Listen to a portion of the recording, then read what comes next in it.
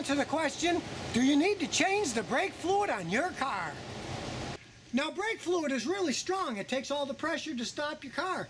But there's one problem with brake fluid. It's hygroscopic. And that means that the brake fluid, when air comes in contact with it, will absorb water vapor and eventually it goes bad.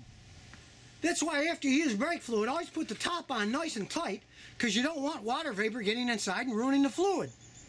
Now your brake system is a relatively sealed system, but it does have a vent in the cap because it has to let a little bit of air in and out when you step on the brake as the fluid goes up and down. So over time, the water vapor compromises how the fluid compresses, and it can also cause corrosion inside the system if there's too much water. Now this process of water getting inside the system can take years before it does any damage, so you don't want to waste your money flushing it all the time when you don't need to. But you don't want to ruin expensive parts like anti-lock brake modules, so what can you do? Well, here's what you can do. You can test this with a little machine like this. This one only cost me 35 bucks. It's a very simple process. You just stick it in the master cylinder, push the button, and it tests it. In this case, it's okay. It's less than 1%, so you don't need to flush it out. So when I mean a long time, sometimes I mean a really long time.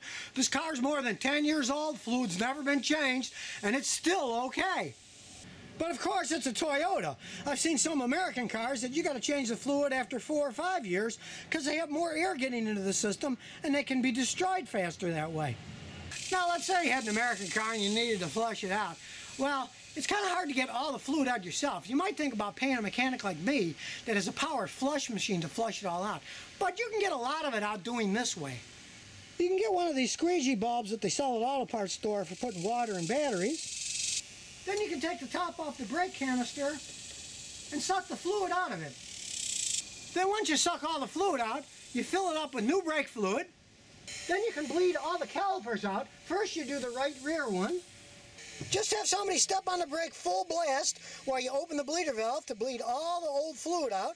Then bleed the left rear brake, then the right front brake, and then the left front brake.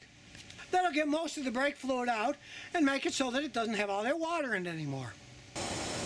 So the next time somebody tells you you need your brake fluid changed, have it tested first so you don't waste your money. And remember, if your car has any problems, just visit the Scotty Kilmer channel.